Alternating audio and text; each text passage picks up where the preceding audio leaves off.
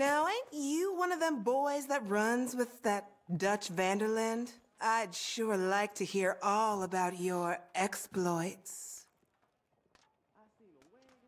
Is that right now? Oh, I know a spot where we can go where we won't be overheard. this way, come on.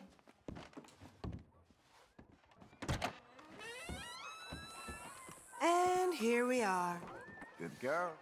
That's him, all right. Ain't nothing personal. You shouldn't have come back to Saint Denis. Yeah, well, anyway, After what you did to Bronte?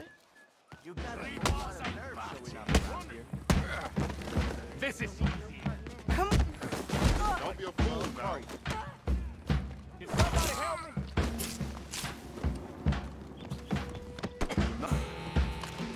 Put it down! Stay away. Bronte's dead, god damn it.